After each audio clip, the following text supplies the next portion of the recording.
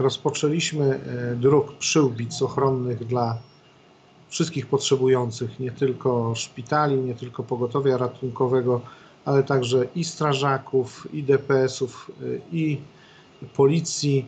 E, no, jesteśmy dzisiaj na poziomie wyprodukowania 1500 sztuk. To myślę już znacząca ilość, szczególnie, że zaczęliśmy od 23 marca. Włączyliśmy się do tej akcji. Myślę, że to jest dosyć dużo, już powoli, powoli kolejki się u nas kończą.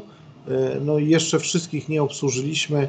Myślę, że przyszły tydzień już tych największych e, odbiorców e, szpitali dostarczymy wszystko, co jest dla nich potrzebne.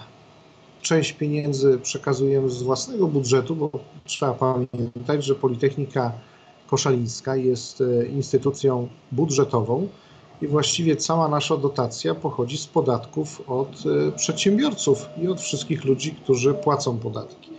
Więc to jest też nasza misja i nasz e, wkład w, to, w tą walkę z koronawirusem. Oprócz tego mamy trochę darczyńców, darczyńców. To są firmy, które e, dostarczyły nam materiały do druku i materiały do produkcji tych szyb ochronnych. To jest folia PET folia PET, e, ją otrzymaliśmy nieodpłatnie od firmy e, z Dąbrowy Górniczej i z Aleksandra Kujawskiego. Jest to firma VIP i firma GTX.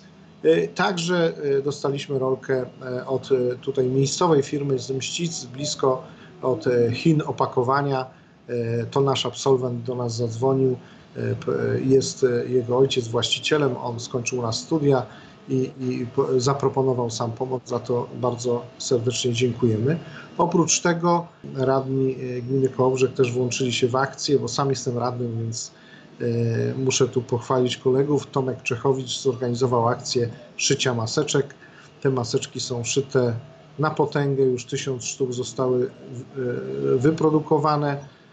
Maseczki wielokrotnego użytku dla każdego mieszkańca gminy Kołobrzeg. Wójt gminy Kołobrzeg koordynuje te akcje wszystkie telefonicznie. Mamy ustawiony mostek dzięki firmie Orange i Tomkowi Czechowiczowi. E, mamy konferencję trzy razy w tygodniu telefoniczną, gdzie wszyscy jesteśmy połączeni z wójtem i dyskutujemy na temat no, przyszłości gminy Kołobrzeg, nie tylko teraz, ale co będzie po koronawirusie. Wiemy, że wpływy z podatków będą marginalne czyli inwestycje, e, inwestycje w gminie Kołobrzeg będą zamrożone przynajmniej na rok, jak nie dłużej, na dwa lata.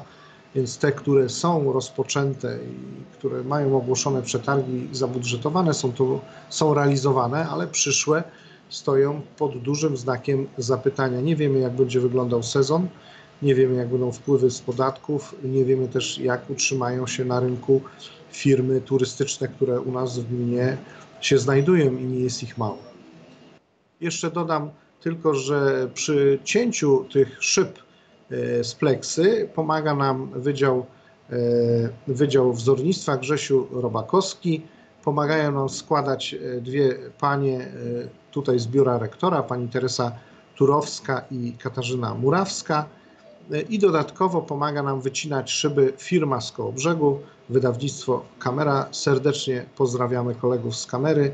Marcin Gauer stoi na straży i zawsze jak jest potrzebna większa ilość folii pomaga nam docinać, bo tych zamówień jest tak dużo, że naprawdę potrzebujemy tej folii 300, 400 e, czasami dziennie, żeby poskładać wszystkie przy ulicy.